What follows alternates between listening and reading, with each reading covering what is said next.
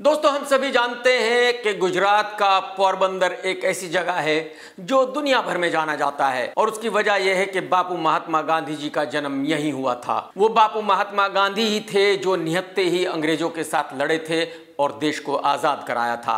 इसी पोरबंदर की जगह से एक और बहुत ही कामयाब बिजनेसमैन है, जिनका नाम है रिजवान अदातिया। रिजवान भाई एक एनआरआई है, जिनका पूरे अफ्रीका में बिज़नेस फैला हुआ है। यानी कि गांधी जी के बाद रिजवान भाई पोरबंदर का नाम रोशन कर रहे हैं। ये तो मैं आपको ज़रूर बताऊँगा कि रिजवान भाई का आज कितने देशों में बिज़नेस फैला हुआ है, वो कितने बड़े बिजनेसमैन हैं।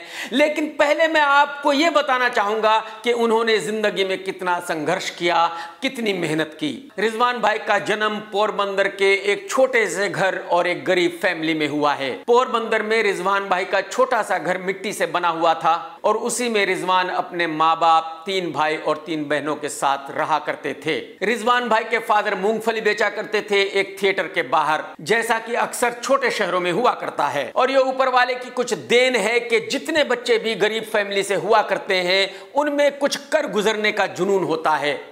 वो ये साबित करना चाहते हैं, दुनिया को बताना चाहते हैं कि वो भी वो सब कुछ कर सकते हैं जो अमीर घरों के बच्चे कर सकते हैं। और बस यही जुनून रिजवान भाई के सर पर भी था। रिजवान भाई ये साबित करना चाहते थे कि वो भी वो सब कुछ कर सकते हैं जो किसी अमीर फैमिली का बच्चा कर सकता है। इसी जुनून को दिल में लेकर 17 साल की उम्र में 1986 में रिजवान भाई अफ्रीका चले गए। वहाँ जाकर नौकरी की, संघर्ष किया, मेहनत की और एक कामयाब बिजनेसमैन बन गए। लेकिन लेकिन ये कामयाबी ज़्यादा दिनों तक नहीं रही। 1991 में अफ्रीका में दंगे हो गए और उन दंगों के दौरान रिजवान भाई के सभी स्टोर्स को लूट लिया गया, उनके गोदामों को लूट लिया गया, उनका घर जला दिया गया, उनका ऑफ़िस जला दिया गया और रातों रात रिजवान भाई ज़ीरो बन गए। आप अंदाज़ा लगा सकते हैं कि जब आप ज़ीरो से शुरू करते हैं, मेहनत करते हैं, कामयाब हो जाते हैं और फिर रातों रात अगर ज़ीरो बन जाए तो कितना दुख होता है। लेकिन रिजवान भाई ने हार नहीं मानी। रिजवान भाई ने ठान लिया था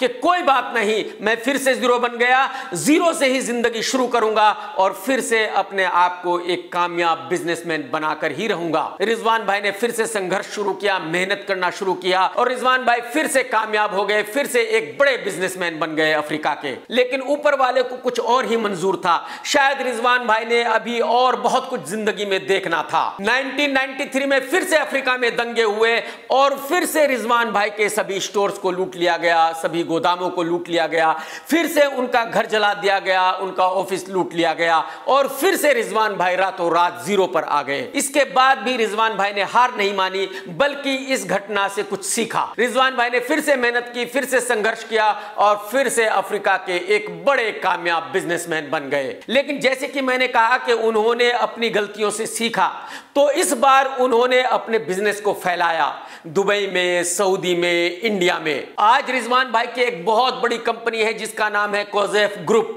और इस ग्रुप का दुनिया के 10 देशों में बिज़नेस है। इस ग्रुप के बड़े बड़े सुपरमार्केट्स हैं और मैन्युफैक्चरिंग यूनिट्स हैं। यानी कि रिजवान भाई ने साबित कर दिया कि वो वाकई ही महात्मा गांधी जी की मिट्टी पोरबंदर से ही है। जैसे बापू महात्मा गांधी ने कभी हार नहीं मानी थी, वैसे ही रिजवान भाई ने भी कभी हार नहीं मानी। जब भी दुनिया को ऐसा लगा कि अब रिजवान भाई हार जाएँगे, बर्बाद हो जाएँगे, रिजवान भाई ने फिर से लड़ाई लड़ी, फिर से संघर्ष किया और फिर से कामयाब होकर दिखाया। बॉलीवुड में अक्षय कुमार है जो सुबह चार बजे उठते हैं और शूटिंग पर जाते हैं, लेकिन रिजवान भाई सुबह तीन बजे उठते हैं और अपने आप को डेली चार घंटे देते हैं। तीन बजे से लेकर सात बजे तक वो ध्यान करते हैं, योगा करते हैं और यही वजह है कि रिजवान भाई एकदम फिट रहते हैं। रिजवान भाई एक ऑर्गेनाइजेशन चलाते हैं जिसका नाम है आर ग्लोबल। ये ऑर्गेनाइजेशन दुनिया भर के देशों में काम करती है और गरीबों की मदद करती है। रिजवान भाई का ऐसा मानना है कि जो ऊपर वाले ने उनको दिया है, वो सब कुछ उनके लिए नहीं है, बल्कि उसमें गरीबों का भी हिस्सा है। और यही वजह है कि वो इस ऑर्गेनाइजेशन को चलाते हैं, जो हिंदुस्तान में, अफ्रीका में और न जाने कितने देशों में गरीबों की मदद किया करती है। आज रिजवान भाई गुजरात की एक मानी हुई हस्ती है, एक जाना माना नाम है। रिजवान भाई की हैसियत का इससे ही पता चलता है कि हमारे पीएम मोदी जी उनको पर्सनली जानते हैं। पीएम मोदी जी तीन बार उनको अपने ऑफ़िस में बुलाकर मिल चुके हैं। यानी कि आज की तारीख में रिजवान भाई का शुमार गुजरात के उन बड़े लोगों में होता है जिनको मोदी जी पर्सनली जानते हैं। रिजवान भाई ने एक और बहुत अच्छा काम किया है कि अपनी इस कहानी को दुनिया को बताने के लिए, दुनिया को दिखाने के लिए उन्होंने एक फ़िल्म बनाई है जिसका नाम है रिजवान। ये फ़िल्म यूट्यूब पर अवेलेबल है, यानी कि फ्री। इस फ़िल्म को कोई भी फ्री देख सकता है। मैंने भी इस फ़िल्म को देखा और मैं भी इस फ़िल्म को देखकर बहुत इंप्रेस हुआ। इस फ़िल्म को देखने के बाद मुझे भी पता चला कि रिजवान भाई कितने हिम्मत वाले हैं। रिजवान भाई ने अपनी लाइफ में कितना स्ट्रगल किया है और रिजवान भाई ने यहाँ तक आने के लिए कितना संघर्ष किया है। मैं चाहूँगा कि आप भी इस फ़िल्म को ज़रूर देखें। अगर आप इस फ़िल्म को देखेंगे तो आप इंस्पायर होंगे, आप में हौसला आएगा, आप में हिम्मत आएगी। आप भी ये मानेंगे कि दुनिया में कुछ भी मुश्किल नहीं है। जो भी आप करना चाहें वो आप भी कर सकते हैं, अगर आप ठान ले। मैं इसी वीडियो के नीचे कमेंट सेक्शन में उस फ़िल्म का लिंक डाल रहा हूँ, आप इस फ़िल्म को ज़रूर देखें। बिल्कुल मत भूलें। रिजवान भाई से मैं यही कहना चाहूँगा कि ऊपर वाला आपको और ज़्यादा दे, आप और कामयाब हो, और इसी तरह आप दुनिया भर में गरीबों की मदद करते रहें। रिजवान भाई के फ्यूचर के लिए मेरी बहुत सारी शुभकामनाएँ, और दोस्तों, आपसे यही कहूँगा कि अगर आपने ये वीडियो देखा है तो लाइक ज़रूर करना है, हंड्रेड करना है, और कमेंट्स करके आप भी बताना, रिजवान भाई को कोई सजेशन देना चाहो तो ज़रूर देना।